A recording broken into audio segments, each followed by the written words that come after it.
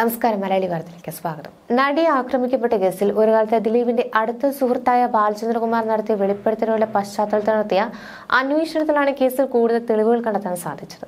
നടിയെ ആക്രമിച്ച കേസിൽ ദിലീപ് ജാമ്യത്തിൽ ഇറങ്ങിയ ശേഷം ആ വീട്ടിൽ നടന്ന പല സംഭാഷണങ്ങളും ബാലചന്ദ്രകുമാർ റെക്കോർഡ് ചെയ്തിരുന്നുവെന്നാണ് പുറത്തുവന്ന ഓഡിയോ തെളിയിച്ചത്. ജാമ്യത്തിൽ പുറത്തിറങ്ങിയ ദിലീപിനെ നിരീക്ഷിക്കാൻ പോലീസ് ചുമതലപ്പെടുത്തിയ ആളാണോ ബാലചന്ദ്രകുമാർ എന്നുപോലും ദിലീപിന്റെ ചില അടുപ്പക്കാർക്ക് സംശയമുണ്ടായി. പിക് പോക്കറ്റ് എന്ന സിനിമയുമായി ബന്ധപ്പെട്ടാണ് ബാലചന്ദ്രകുമാർ ദിലീപുമായി അടുക്കുന്നത്. കൊച്ചി നടി ആക്രമിക്കപ്പെട്ട കേസിൽ നടൻ ദിലീപിനെതിരെ വെളിപ്പെടുത്തലുമായി ദിലീപിന്റെ മുൻ സുഹൃത്തും സംവിധായകമായ ബാലചന്ദ്രകുമാർ എത്തിയപ്പോൾ സിനിമാ ലോകം ഒന്നടങ്കം നടങ്ങി. അതുവരെ സിനിമയിൽ അത്രയേറെ അറിയപ്പെടാത്ത സംവിധായകനായിരുന്നു ബാലചന്ദ്രകുമാർ. കൗബോയ് എന്ന ചിത്രമാണ് പുറത്തു വന്നത് പിന്നീട് പല ശ്രമങ്ങൾ നടത്തിയെങ്കിലും വിജയിച്ചില്ല. മോഹൻലാലിനെ നായകനാക്കിയ സ്പെഷ്യലിസ്റ്റ് എന്ന രണ്ടായിരത്തി പതിനാലിൽ ഒരു സിനിമ പ്രഖ്യാപിച്ചിരുന്നു. അതും പാളി. പിന്നീട് പിക് പോക്കറ്റ് കഥയുമായി ബാലചന്ദ്രകുമാർ ദിലീപിന്റെ വീട്ടിലെത്തുകയായിരുന്നു. ദിലീപിന്റെ അളിയന്റെ തിരക്കഥാമോഹം ബാലചന്ദ്രകുമാറിനെ വീട്ടിലെ അടുപ്പക്കാരനുമാക്കി. സംവിധാനം ചെയ്ത സിനിമകളിലൂടെ ആയിരുന്നില്ല മലയാളി ബാലചന്ദ്രകുമാറിനെ അറിഞ്ഞത്. മറിച്ച് നടിയെ ആക്രമിച്ച കേസിലെ വെളിപ്പെടുത്തലുകളുടെ അടിസ്ഥാനത്തിലും കൂടെയായിരുന്നു. ദിലീപിന്റെ വലം കൈയായിരുന്ന ബാലചന്ദ്രകുമാർ പിന്നീട് നടത്തിയ വെളിപ്പെടുത്തലുകൾ കേസിൽ വമ്പൻ ട്വിസ്റ്റുകളാണ് നൽകിയത്. രോഗക്കിടക്കയിൽ പോലും ദിലീപിനെതിരെ ജഡ്ജിക്ക് മുന്നിൽ മൊഴി നൽകിയ വ്യക്തി കൂടിയാണ് ബാലചന്ദ്രകുമാർ. കേസിൽ ദിലീപിനെതിരെ വിധിയുണ്ടായാൽ അതിന് പ്രധാന കാരണക്കാരനും ബാലചന്ദ്രകുമാർ മാത്രമാകും. അത്രയേറെ സംശയങ്ങളും തെളിവുകളുമായി ശബ്ദശകലങ്ങളും ബാലചന്ദ്രകുമാർ പുറത്തുവിട്ടിട്ടുണ്ട്. ദിലീപ് സാക്ഷികളെ സ്വാധീനിക്കാൻ ശ്രമിച്ചതായും നടി ആക്രമിച്ചതിന്റെ ദൃശ്യങ്ങൾ തിരുമലി ലഭിച്ചിരുന്നതായും ബാലചന്ദ്രകുമാർ പറഞ്ഞിരുന്നു. നടിയെ ആക്രമിച്ച കേസ് അന്തിമവാദത്തിലേക്ക് പോകുമ്പോഴായിരുന്നു ബാലചന്ദ്രകുമാറിന്റെ മടക്കം. ദിലീപിനെതിരായ വെളിപ്പെടുത്തലിൽ മലയാളത്തിലെ സൂപ്പർ താരത്തിന് പിന്തുണയുണ്ടെന്ന് പോലും ബാലചന്ദ്രകുമാർ പറഞ്ഞിരുന്നു. സൂപ്പർ താരത്തെ കൂടാതെ നൂറിലധികം സിനിമാ പ്രവർത്തകരുടെ പിന്തുണയുണ്ടെന്നും ഇവർ അയച്ച മെസ്സേജുകൾ ഉൾപ്പെടുന്ന ഡിജിറ്റൽ തെളിവുകൾ സൂക്ഷിച്ചിട്ടുണ്ടെന്നും ബാലചന്ദ്രകുമാർ വിശദീകരിച്ചതെല്ലാം കേരളം ഞെട്ടലോടെ കേട്ടു.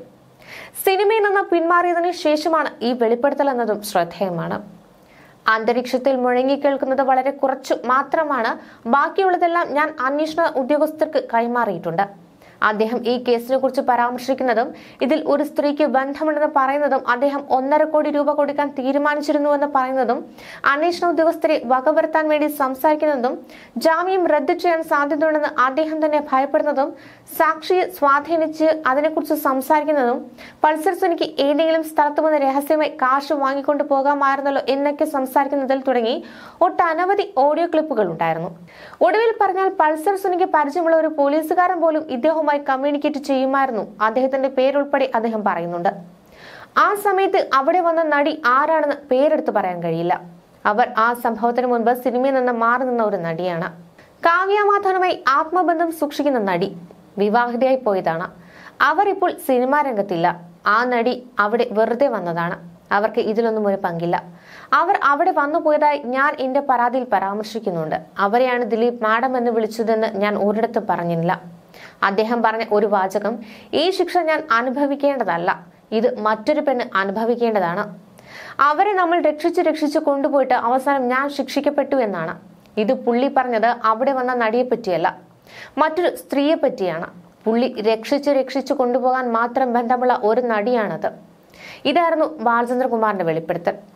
നടി ആക്രമിക്കപ്പെട്ട് മാസങ്ങൾ കഴിഞ്ഞാണല്ലോ ഈ ദൃശ്യങ്ങൾ ദിലീപ് വീട്ടിൽ നിന്ന് കാണുകയും ഞാൻ അവിടെ ഉണ്ടാവുകയും ചെയ്തെന്ന സംഭവം ഉണ്ടായത് എന്നെ കാണാൻ വിളിച്ചു. പക്ഷേ ഞാൻ ഒഴിഞ്ഞു മാറി. എനിക്കത് കാണുന്നത് തന്നെ തെറ്റാണെന്ന് ബോധ്യമുണ്ടായിരുന്നു. പക്ഷേ അതിന്റെ ശബ്ദങ്ങൾ ഞാൻ കേട്ടിരുന്നു. ആക്രമിക്കപ്പെട്ട പെൺകുട്ടിയുടെ മാനസികമായി ഞാൻ എന്നും ഐക്യപ്പെട്ടിരിക്കുന്നു. ഞാൻ അല്പം നേരത്തെ ഇതെല്ലാം പറഞ്ഞെങ്കിൽ അവർക്ക് കുറച്ചുകൂടി നേരത്തെ നീതി കിട്ടുമായിരുന്നു. അല്പം താമസിച്ചെങ്കിലും ഇതിലൂടെ അവർക്ക് നീതി കിട്ടുമെന്ന് ഞാൻ കരുതുന്നു. താമസിച്ചു പോയത് സാങ്കേതികത്വം മാത്രമാണ് കാരണം. താമസിച്ചു പോയതിൽ ഖേദമുണ്ടെന്ന് ബാലചന്ദ്രകുമാർ പറഞ്ഞിരുന്നു. ഈ ശിക്ഷ താൻ അനുഭവിക്കേണ്ടതല്ലെന്ന് ദിലീപ് പറയുന്ന ശബ്ദരേഖയാണ് ബാലചന്ദ്രകുമാറിന്റെ മറ്റൊരു തുറപ്പുചീട്ടായിട്ടുള്ളത്. വേറൊരു പെണ്ണ് അനുഭവിക്കേണ്ടതായിരുന്നു. അവരെ രക്ഷപ്പെടുത്തി താൻ പിടുകയായിരുന്നു എന്നാണ് ശബ്ദരേഖയിൽ പറയുന്നത്. ദിലീപിന്റെ ബാല്യകാല സുഹൃത്തായ വ്യാസൻ എടവനക്കാട് അടക്കം പത്ത് സുഹൃത്തുക്കൾ ഈ ശബ്ദം തിരിച്ചറിയുകയും ചെയ്തിരുന്നു. ന്യൂസ് ഡെസ്ക് മലയാളി വാർത്ത.